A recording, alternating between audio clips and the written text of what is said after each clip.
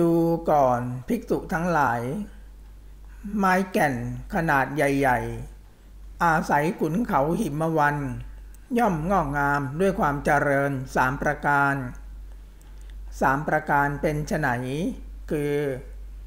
เจริญด้วยกิ่ง ใบแก่และใบอ่อนหนึ่งเจริญด้วยเปลือกและกระเทาะหนึ่งเจริญด้วยกระพีและแก่น หนึ่งดูก่อนภิกษุทั้งหลาย ไม้แก่นขนาดใหญ่ๆ อาศัยขุนเขาหิมวัน ย่อมงอกงามด้วยความเจริญสามประการนี้ ฉันใด ดูก่อนภิกษุทั้งหลาย ฉันนั้นเหมือนกัน คนภายในอาศัยพ่อบ้านแม่เรือน ผู้มีศรัทธา ย่อมเจริญ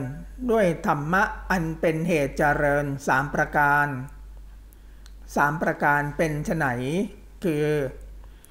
เจริญด้วยศรัทธาหนึ่งเจริญด้วยศีล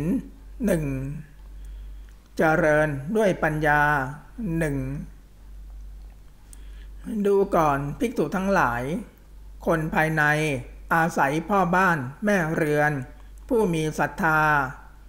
ย่อมเจริญด้วยธรรมะเป็นเหตุเจริญสามประการนี้แล ภูเขาศิลามีอยู่ในป่าใหญ่ หมู่ไม้ได้อาศัยภูเขานั้น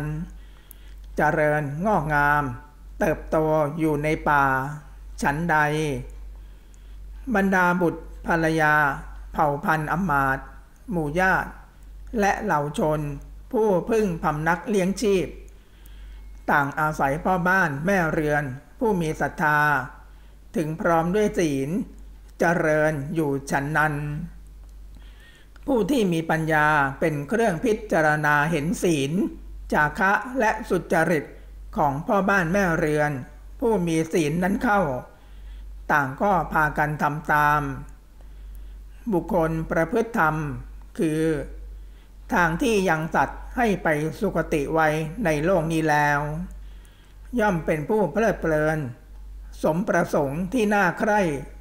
บันเทิงอยู่ในเทวโลก